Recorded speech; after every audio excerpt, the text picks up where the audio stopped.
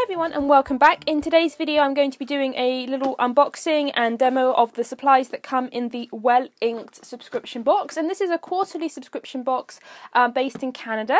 When the uh, owner reached out to me and asked if I'd like to test it out I was really interested and I really like to test out new sorts of boxes and they are quite new on the um, marketplace so a lot of you guys may not have heard of them before so I'm very excited to be opening this box up and to be showing you guys what sort of things come inside in case you're interested in, get, in, in getting one yourself. And I'll leave links to their website in the comments down below, not in the comments, in the description box down below. And as you can see, it comes in this nice little box. It has this nice um, ribbon all the way, um, not ribbon, my words today, um, has this nice tape all the way around that has their logo on it, which is very nice. And, ooh, open this up. Lots of black sort of, well, that's fun. Actually, this would be great to use if you're into mixed media. You know, I bet we could use this in a project. Actually, I think I'm going to take that carefully out so we can save it so that I can use that in a project of some sort. Right, so let's see what's in, what do we have in here? We have a nice looking brush, those little packets. I just, okay, just move that aside and put that over there. Well Inked Creative Supplies. Yes, it's a creative supply box. And so let's see what we have. We have peerless transparent watercolours and we have a little, oh these are little um, samples so you can test them out. I have a little look. I've never tried these watercolours. So these seem to be quite unusual watercolours. It says to use, cut a small piece of the colour film, place in a container and add water to, to dissolve the colour from the film. Remove the film clippings and delight, dilute with more, with wa more water if necessary. So it's quite a, sounds like quite an unusual way of using watercolours, and I've never tried these peerless transparent ones before. Um, so I'll be testing those out in a moment. Let me just pop them back in and by the look of it, we have four different colours. Four different colours. And they are sky blue, brilliant yellow, scarlet and pearl grey. This is an Epic watercolour brush and it's a number 10. And that's a lovely that's a lovely brush. And then in this little packet we have, oh we have some artist trading cards, some watercolour artist trading cards. I've actually been wanting a pack of these. I've made um, artist trading cards before, but I've never um, actually bought a pack of uh, cut ones. Normally I cut my own, but this saves an awful lot of time. And that's really nice. Strathmore 300 gram paper, so that's really nice watercolour paper. And I've never tried Strathmore watercolour paper either, so that's lovely. We can definitely do something with those.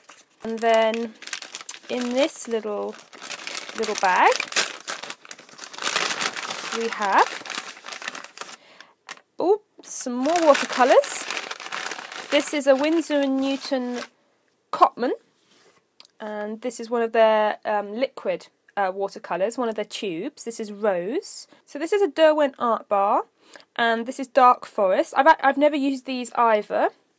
It says on the information that um, you can use them for making marks, blending and layering, and then you can add water and you'll cause the, the the marks you make with this to melt into the paper. So I guess you can you, when you're doing your watercolor drawings, you could use this, and then when you go over the watercolor, you kind of erase the the marks you make with this. Hmm, I have to do some tests, and the last thing in here is it's a tiny little Brush Rest by Rebecca Graves Pottery. It's nice. It says one of our goals for the well inked box has to be has been to work with other artists and creatives. This watercolor box has given us the opportunity to include a beautiful handmade brush rest from Rebecca Graves, made exclusively for you. But um, because they're untreated, they'll develop a patina as you use them. Oh, I see. Oh, that's really nice to include. Um, to include uh, items from artists and artisans. I think that's a really nice touch, and it and it's a bit and that works really well for the brush because you can uh, rest it on there without damaging your table and without putting it directly face up into the water. So that's a great idea. Okay, so these are the little bits that come with the box. You have four pearl um, Peerless transparent watercolours, four little samples. We have one art bar by Derwent, one Cotman watercolour tube, one number 10 Epic watercolour brush, and then 10 of these little artist trading cards. And what's nice about this is that you don't really need anything else to uh, get started and to do a project because you've got your, your paper, your brush, um, your different colour paints, even uh, something like to do a, an outline with and then of course you have your little uh, watercolour brush rest and um, the only thing I need to grab is some water. So that's what comes in the well inked box, and I want to say uh, thank you to the folks over at the well inked box for sending me this box to unbox and to have a look at. It's really nice. And now I'm going to do some painting, I think, and test out some of these supplies. And so I've gone and grabbed some different glasses here because I wanted to um, use quite uh, several of these different colours and if they're in the glasses then it's much easier for you guys to see um, the colours. So I'm just going to take a tiny bit of water here and put a tiny bit in the bottom of this glass. Now it says, I just grabbed my scissors, where are they? Oh, they're over here. It says on the instructions here comes with um, the Well Ink box comes with this card and it instructs you how to use all the supplies so that's quite useful. So if any of these supplies are unknown to you like actually um, actually quite a few of these I actually haven't used before but these I've I've never even seen people use um, it says to cut a piece and to dissolve it in water. Because it, it feels like these pieces of paper it feels like um, it's covered in pigment and it actually comes up a tiny bit in my fingers. So if I just take my scissors and I'll cut a tiny strip or half a strip, I don't know how much to, to cut off, and put it into the water and stir it around. Now, how dark is that? That is the question, isn't it? So if I just grab, don't joggle the camera too much. I grab my um, sketchbook here, this is my multimedia one, so it will take watercolours perfectly. Right, so if I take, put my brush in here, let me see. Okay. Right, too much, obviously too much water, not enough pigment. So if I put the other one in, you can kind of see the pigment, but I think I'm doing it wrong. So um, let's wash, let's wash that brush off. Right, so now I'm just going to put the tiniest bit of water in it. Oops. Let me just put tiny, tiny, tiny, almost like a, a teaspoon. Right, now, let's try that again. Now this time let's cut a little little square off, a little rectangle, and put that in. Ah, right, so now I'm getting more colour on that. And they're meant to be transparent watercolours, so that is something um, to bear in mind. Right, so I'm getting a much darker colour there. And obviously I can add I can add more to it. So now I've got some yellow going. Why don't I try a different colour? So now just just now I added the water first and then I added the colour. So maybe it says to add it says to put the the film into the pot before I put the colour I mean Put the paper in the pot before I put the water in. So maybe I could try doing that. I mean, I'm not sure what difference it will make, but I put that in there. And obviously these are quite large containers, but I want you guys to be able to see what I'm doing. And I add a tiny drop of water and stir it around. Right, so I've found a couple of other, a couple more little containers and I'll activate these two last colours here. Then I have the Winsor & Newton, and I'll just grab my palette, which is over here, and put a little bit of that in the palette so that I have some different colours to work from. There we go. Just move these guys out the way. Now, if any of you guys have used the Peerless Transparent watercolours before, then feel free to leave a comment. Let me know if I'm doing this wrong. Um, I've never used these before, and that's that's the whole point of. Well, for me, that's part of the um, the part of the point and part of the the fun of using of art supply subscription boxes is that you know you can you can test out things that you you may never have heard of or seen in the shops, and that's something else because you often find things that are in the boxes that are perhaps um, things that you haven't seen before or haven't been able to get hold of. And art supply uh, boxes often get things. Sometimes they can have special deals with manufacturers, so they'll get to test things. Um, before they're available to the general public, or they'll make exclusive items for boxes. So that's um, that's always nice. Right, so I am getting the colours out, and that is looking, the colours are all really nice. I wonder if you could apply your brush directly to the colour, and whether or not that would ruin the card. I think I'll test that anyway for those of you that have used these, if I'm doing something that's terrible that you should never do, uh, let me know in the comments below. As I said, I'm just going to do it just to a tiny little corner of one of these sheets, just to see um, how, what I can, how, uh, you get a lot of pigment on there. There we go. Oh, well, it's actually not too dissimilar to the mixture there. But I guess if you wanted a very dark pigment, you could always just apply your brush directly to the card. Probably actually mix them in a palette like this. Cut your little squares and put them in a in in put the water in a palette like this. I think that would probably work.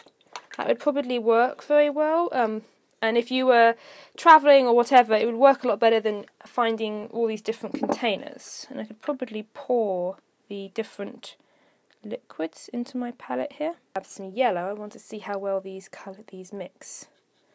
Oh yeah, they mix lovely.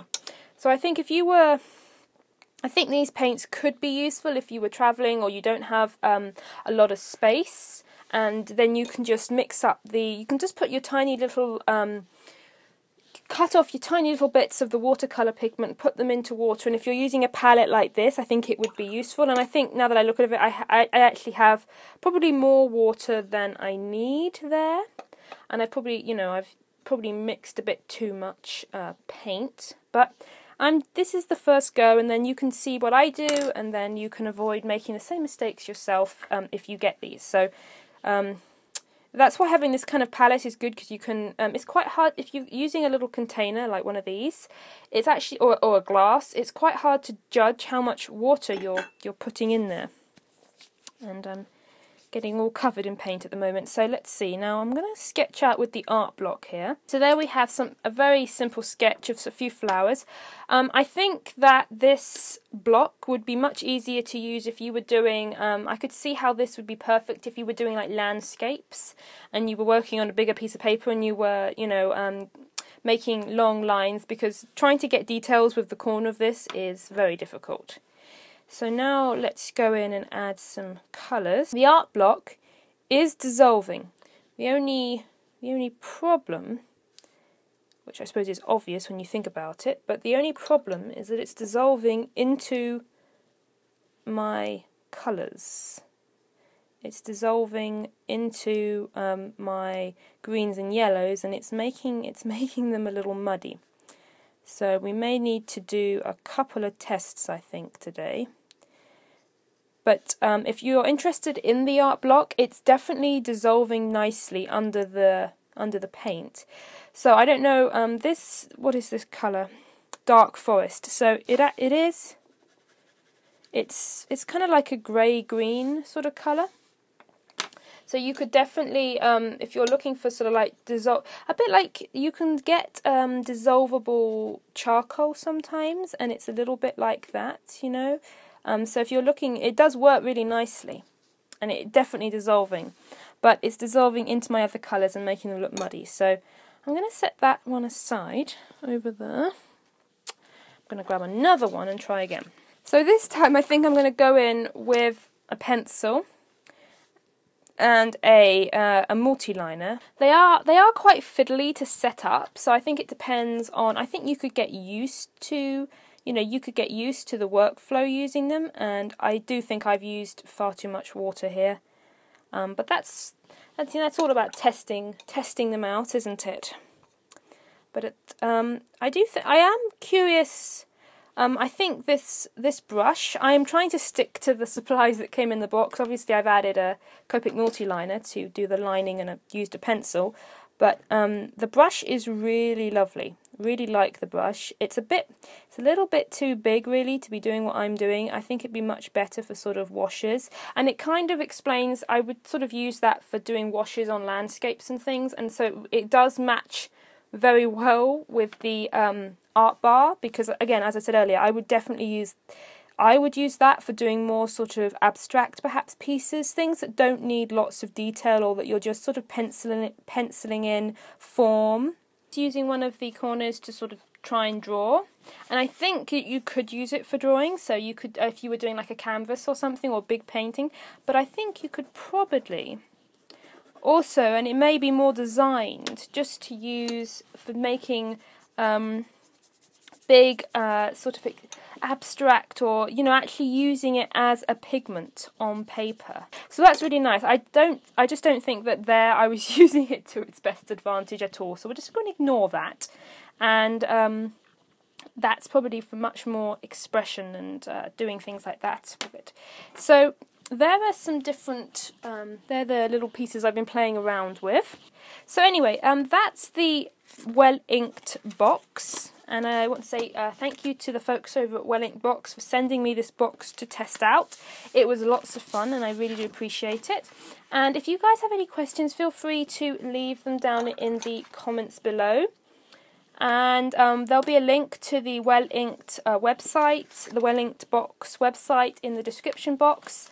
And so that's what came with it a Derwent art bar, a Epic watercolour brush, this little, this lovely little uh, clay watercolour paint brush rest, a Winsor & Newton Cotman tube, four Peerless watercolour uh, test swatches, and 10 of these little artist trading cards. And that was the well inked box. Anyway, I hope you enjoyed this video. Make sure you leave a comment down below, especially if you've ever used these paints. I'd love to hear what you think of them and how you use them so we can um, all learn a bit more about the Peerless watercolours. And um, I will see you all again next time.